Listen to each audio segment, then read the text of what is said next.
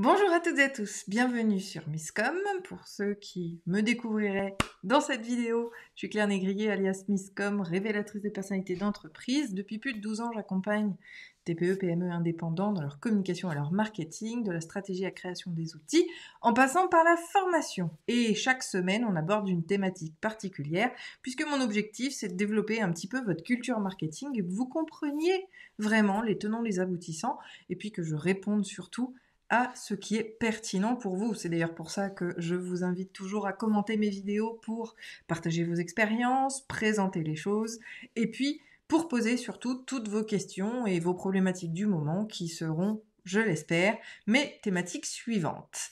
Cette semaine sur Miscom, on aborde la notion de témoignage. Les témoignages sont un élément indispensable l'acquisition client. Même si j'aime pas le terme, au moins tout le monde le comprend. Euh, et donc, ça a été la thématique cette semaine qui vous a rappelé lundi pourquoi c'était important, mardi quels les différents types de témoignages qu'il vous faut ou qu'il faudrait avoir pour maximiser leur impact. Et aujourd'hui, on voit comment avoir des témoignages qui vous aident vraiment, qui servent véritablement votre entreprise. Donc, si les questions se posent par rapport à comment ça, il y a différents types de témoignages, je vous invite à voir la vidéo en description de celle du jour qui vous rapporte à celle de mardi où on explique justement tout ça et aujourd'hui on vient poser les choses sur comment le faire. Donc déjà, le premier point, c'est de se rappeler, de garder en tête que de toute façon les témoignages, ils viennent rarement tout seuls. Oui, il y a des, des clients qui sont engagés, malheureusement un client par année ou deux qui vont le faire de manière automatique et qui vont le faire avec plaisir de nous répondre et de nous envoyer des témoignages, il n'empêche qu'ils ne sont pas suffisamment élaborés pour pouvoir répondre aux besoins que vous en avez, vous, en tant qu'entrepreneur et en tant qu'entreprise. Et puis, bah, il y a tous les autres surtout qui, si vous ne leur demandez pas, ne le formuleront pas. Donc l'idée, encore une fois, c'est de maximiser à la fois vos témoignages et leur impact pour pouvoir les utiliser au maximum et dans les meilleurs use possibles. Je suis désolée, je voulais pas répéter l'utilisation.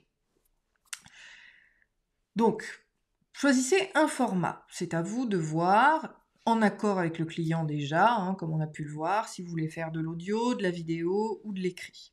Dans tous les cas, moi je vous invite à envoyer un espèce de pas de formulaire, sauf si c'est de l'écrit et que vous attendez un retour le plus rapide possible sans avoir à être derrière. Euh, on utilisera le formulaire, bien évidemment, ce sera le plus simple. Euh, par contre, pour tout ce qui va être vidéo ou audio que vous souhaitez enregistrer avec le client, il faut lui envoyer un espèce, dans mon jargon on appelle ça un brief, un espèce de questionnaire, voilà, pour lequel il va pouvoir préparer ses réponses, soit les écrire ou non, l'idée étant que eh ben, quand vous êtes en phase d'enregistrement, il puisse simplement répondre à ces questions-là. Euh, donc ça reste quelque chose d'élémentaire pour pouvoir, encore une fois, avoir quelque chose de cohérent. Le principe, c'est pas d'aller les corriger, on leur demande pas de nous renvoyer le questionnaire, c'est juste pour eux, pour pouvoir préparer leurs réponses et faciliter l'enregistrement quand on est en mode audio.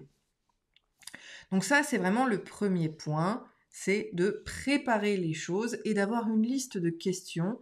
Et d'ailleurs, pour avoir quelque chose de cohérent entre tous les témoignages, c'est bien sûr de poser les mêmes questions aux mêmes personnes. Sauf si vous avez des produits vraiment très différents, produits ou services, qui vont effectivement eh ben, demander des questions, on va dire, différentes. Mais là, justement, par rapport au but et à l'objectif du témoignage, ça c'est sur l'utilisation de produits, c'est un type de témoignage en particulier, mais on va quand même tout lister dans ce fameux formulaire ou dans cette fameuse checklist pour vérifier et valider les différents type de témoignage que l'on veut, que ce soit de l'information générale pour l'entreprise, que ce soit un descriptif vis-à-vis du produit, de son utilisation ou son expérience client, vous allez tout noter dans ce fichier de manière à avoir des réponses les plus précises possibles et de faciliter finalement le fait de l'avoir. Vous savez, les gens, s'ils ne le font pas, c'est parce qu'ils n'ont pas le temps dans leur quotidien, ils ne le prendront pas d'eux-mêmes.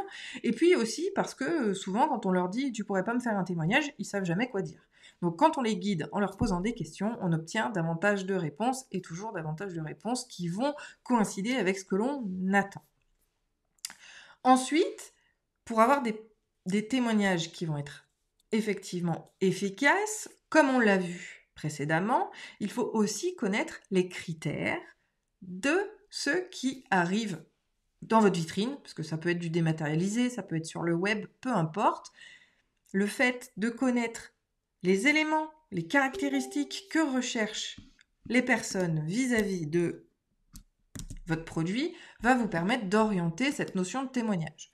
Si par exemple euh, vous vendez des produits quels qu'ils soient, hein, des vrais produits physiques, euh, et que eh bien, on vous pose souvent la question euh, est-ce que les dimensions sont adéquates Est-ce que l'utilisation est facile? On va intégrer ces questions-là et ces informations-là dans le questionnaire retour par rapport au client.